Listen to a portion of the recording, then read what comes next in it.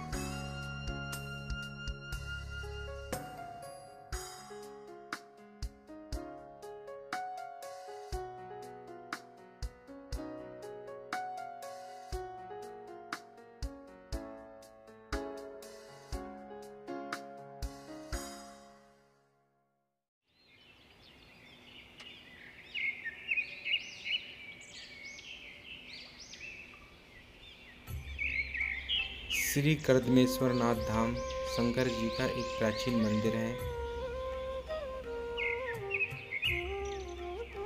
महाशिवरात्रि के दिन प्रति वर्ष यहाँ मेला लगता है।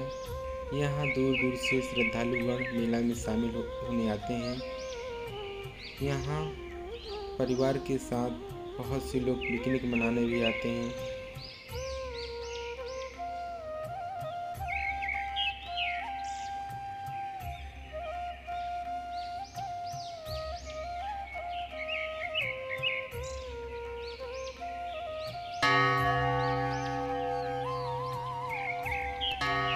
करदमेश्वर नाथ धाम जी का मुख्य मंदिर है और शिवलिंग के पीछे जो मूर्ति है, वह बहुत ही प्राचीन मूर्ति है।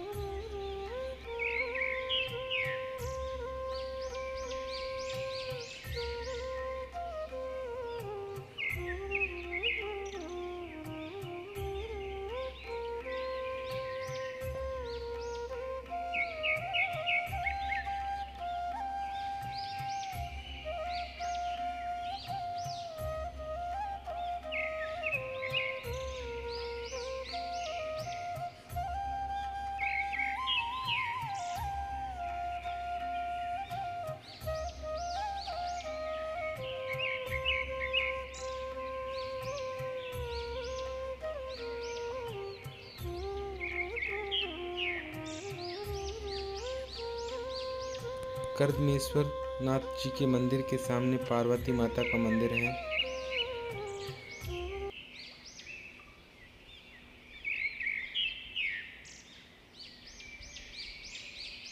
मंदिर से नीचे जाने पर एक प्राकृतिक जल स्रोत दिखलाई पड़ता है, जहाँ से गौमुख से वर्ष भर एक समान धारा में पानी निकलता रहता है।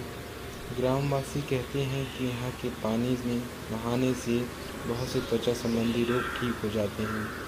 ये पानी बहुत ही स्वच्छ एवं स्वादिष्ट है।